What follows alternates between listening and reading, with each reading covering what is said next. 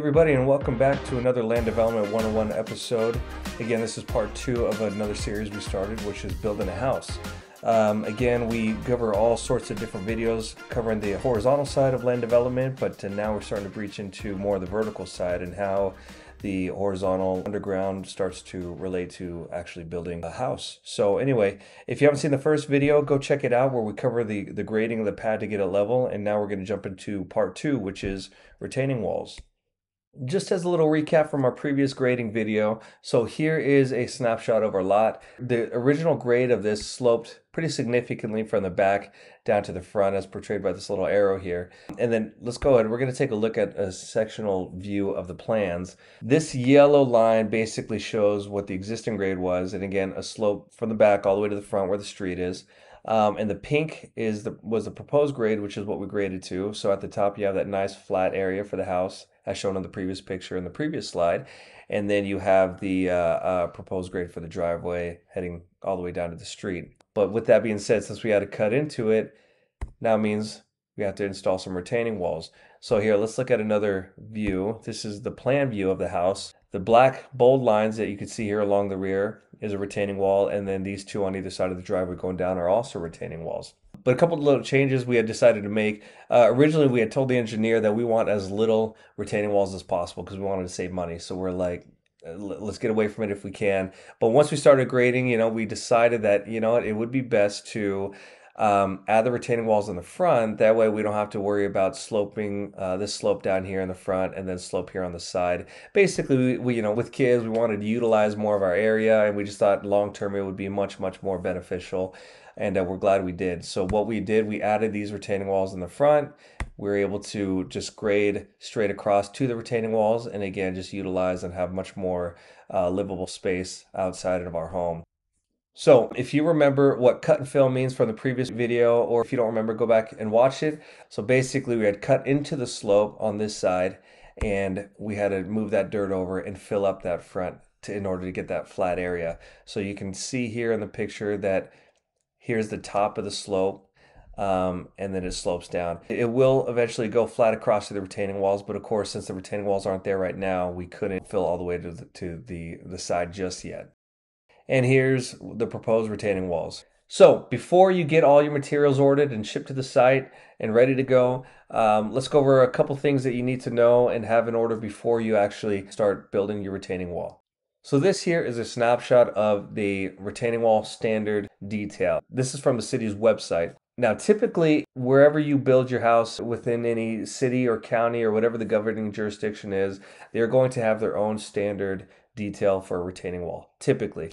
Um, and again, you could just pull this off your website. The civil engineer that you got should already know that and should already have that included on their design. However, if the city or the county doesn't have a standard uh, detail for retaining wall, then your civil engineer will draw one and include it in their plans.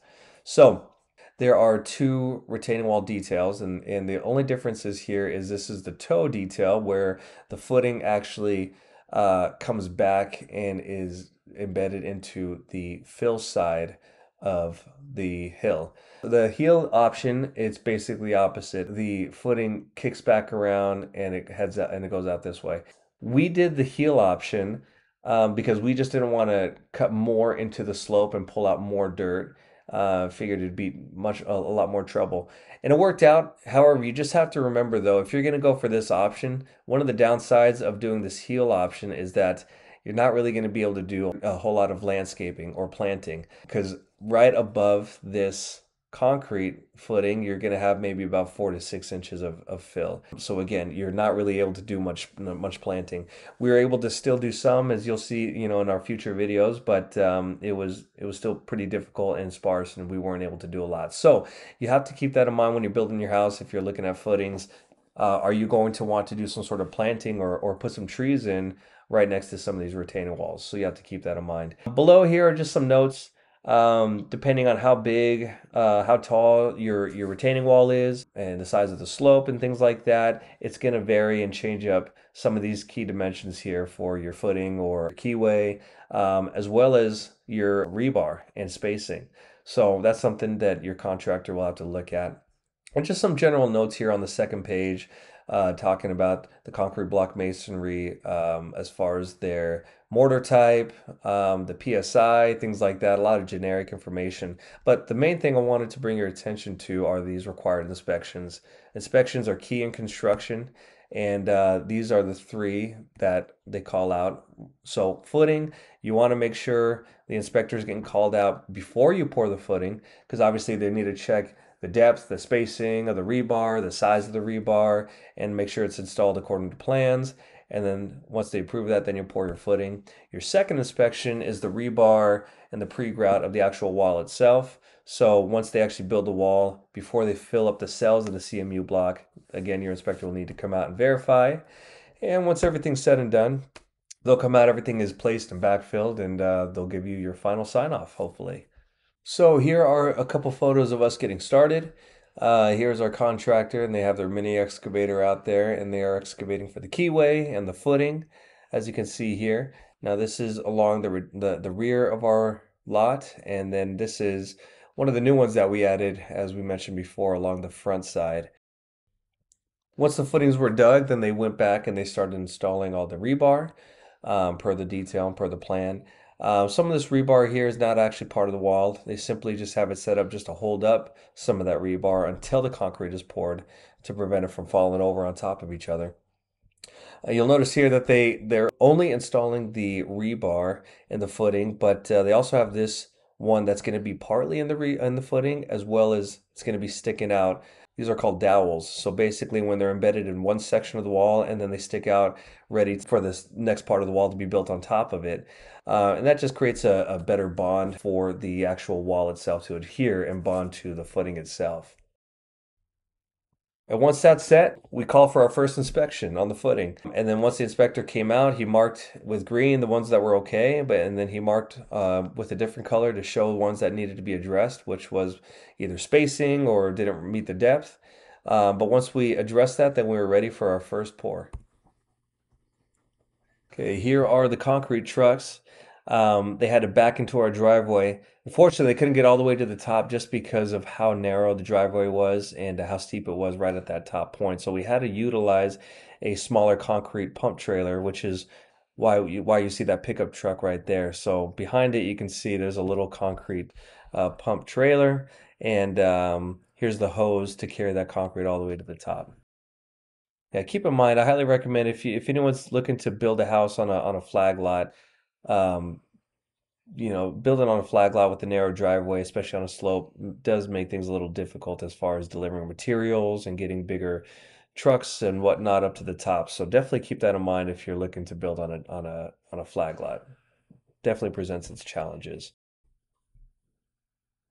And just here's another video. So they're holding that that hose as they continue to fill up the keyway and the footing with concrete keep in mind here what we were able to do because it was so rocky and stiff that when the contractor was excavating, he was able to utilize uh, the hole as the footing itself without needing to form up any barriers or footing itself. So that kind of saved money as far as labor and material because as you can see here again there are no forms. It's just the hole itself that's the footing because the dirt was stiff enough that it can just hold itself up which is fine. However one thing to keep in mind the, the downside to that is that when you are digging if you're pulling up bigger rocks and boulders unfortunately you can't help it. But once you pull it out sometimes it might make your hole and your footing bigger which means you're going to be using more concrete to fill that hole up which could mean uh, essentially more material and more money. Okay, after the concrete is poured for the footing, the guys will actually, within the same day, install the first level of the CMU block wall. Uh, this is known as wet setting that first course. And the reason why they do this is because while the concrete is still wet and malleable, they're able to just set the block right into it um, and what this does, this allows the wall to have a much stronger bond between the footing and the actual the, the wall itself, and it helps the guys make sure that this first layer is is very level. Um, it also eliminates any cold joint, meaning if they were to come back later after the concrete fully cured, and then they come back and lay that first course, Um, it's much more difficult as now they're probably deal- dealing with debris, dust, anything on there that makes it a lot much more difficult for them to be able to try to get a, a level course. And as mentioned before, the dowels, now you can see that here are the dowels that are sticking out from the footing, and then they just start placing the uh, CMU block around that. After the footing is done, the guys will basically come out a little bit later and start building up the rest of the retaining wall. However, keep in mind, depending on how high your retaining wall is, uh, you will not be allowed to build the full height of your retaining wall all at once and grout it all at once. You are required to build only five feet at a time and then grout it and then build the next five feet at a time. This is known as lifts in the construction world. So because our rear retaining wall was greater than five feet, we had to do two different lifts. Um, but once we did our first lift, we were then ready for our second inspection, which is the rebar and the pre-grout. Now, as you can tell with the CMU block walls, uh, you can see that there are empty cells in the middle. And that's where your inspector is going to be looking and checking out before you place the grout. He's going to look at, again, the rebar, the size of the rebar, spacing, and all that good stuff. One other thing to keep in mind is the aesthetics of the CMU block wall. Um, there are a couple different styles and versions you can get of the CMU block. This here, what you see in the gray, is just your typical precision block. There's nothing fancy about it. It's your bare minimum um, and most likely going to be your most affordable option. Uh, doesn't look the best, but we went with precision along the front because once you backfilled, you weren't going to see it. So this wasn't a big deal to have anything decorative. However, on the on the previous slide, you could see that uh, we went with a little nicer color. It was tan, and then you'll see in the final photos. But uh, we had another layer or two called split block just to break it up and make it look nice. But if you go again, if you go with something a little bit more decorative than your precision, you're probably going to be paying just a little bit more.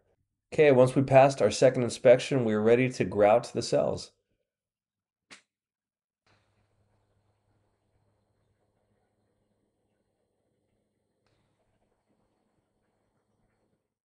Another pretty big component of the retaining wall is the drainage. On the left here is a snapshot from the same standard detail drawing we were looking at earlier. Now the reason why the drainage is so important is because your retaining wall is holding up a lot of earth and that water can percolate behind it and essentially just get trapped back here. And if there's no way to escape, over time that water can sit there pool and it will damage your CMU block wall and that's not good. So what we had to do was install this four inch PVC drainage pipe, but it's perforated, which means you can't see it here, but there are slits, small slits all along this drainage pipe. And what that does is it allows for the water to uh, come into your PVC drainage pipe and essentially just get kicked out around the sides and thus allowing for your water to escape.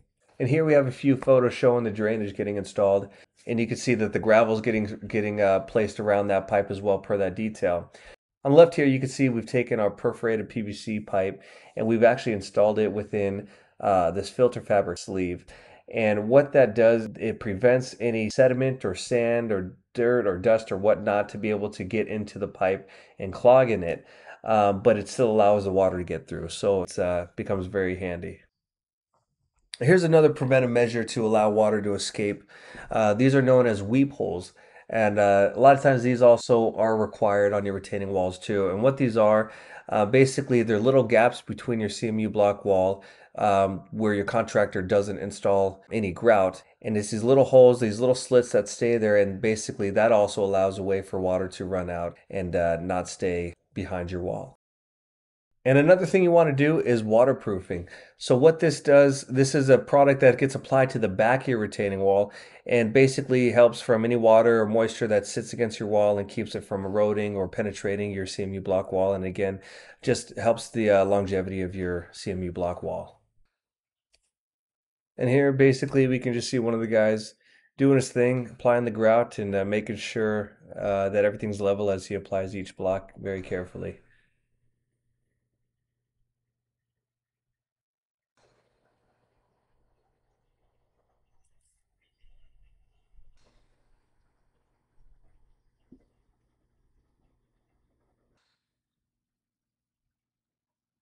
You can see that there's a string line at each course.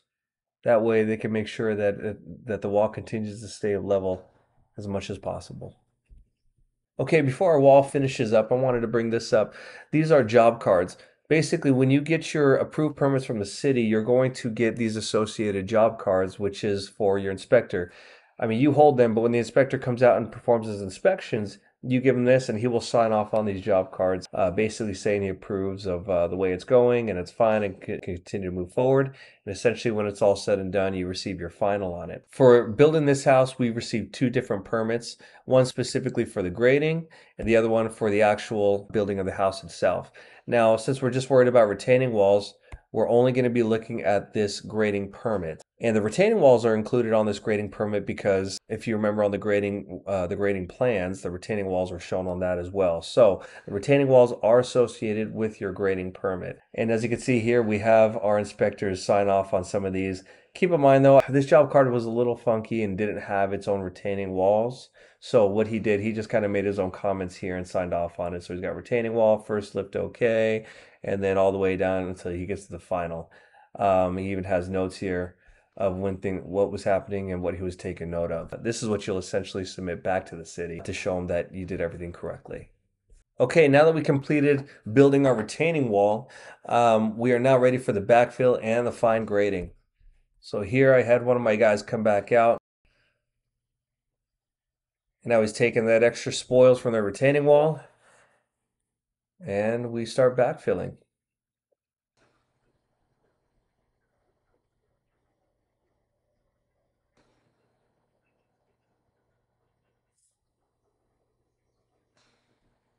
Now here's a photo of our front retaining wall. What we had to do when we're compacting, when we're backfilling compacting here, we also had to do this in lifts as well. Because if you just backfill the whole thing all the way to the top and then just try to compact the top, you have all this loose dirt underneath that's uh, got all these voids. And so how you have to do that is you have to do it in lifts, uh, typically eight inch lifts um, and then you and then you moisturize and compact it in order to get the most out of your compacted dirt and not have any uh, settlement issues later on.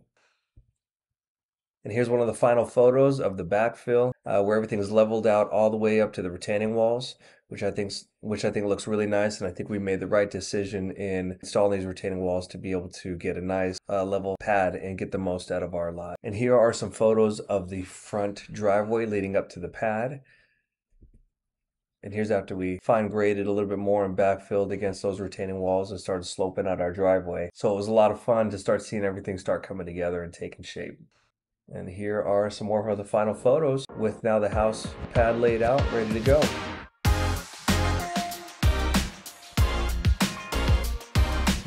Well, everybody, I hope you enjoyed that video. Make sure you stay tuned for our next video where we're going to be talking about actually trenching for the footing and the foundation for the actual house. So it's going to be really exciting. Uh, make sure you like and subscribe if you haven't already. If you have any questions, feel free to reach out. Um, and I hope you guys enjoyed this and learned something new. See you next time.